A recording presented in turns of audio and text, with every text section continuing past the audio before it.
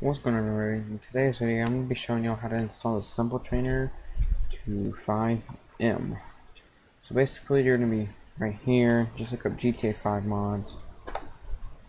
Should be the first link here, and then go to scripts,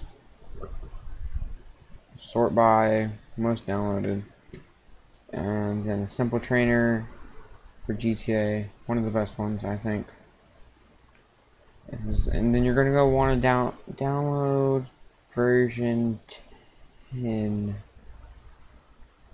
okay never mind. Actually version 11 will work.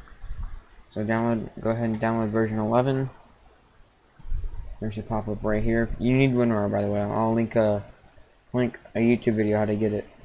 So now you can exit out of your browser. And then you're gonna want to go up here left click FiveM and then right click it and then go to open file location.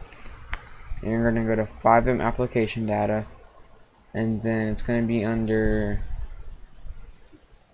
plugins. If you don't have a plugins folder just make one. So and just drag these two in and boom. Alright and I'll see y'all in the game.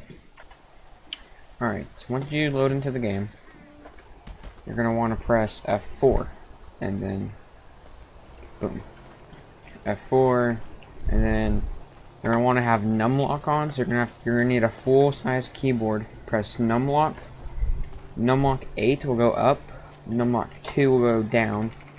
Numlock 4 uh, numlock 5 will select so like options. And then numpad 6 will go to the next menu. Numpad 4 will go back to the other menu. So yeah, that's how you install Simple Trainer.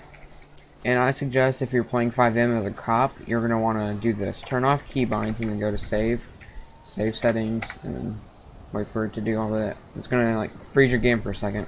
It could crash, it could not.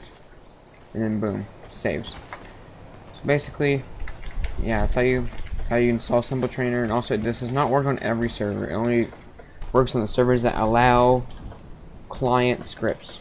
So yeah. I hope this helped y'all and have an amazing day.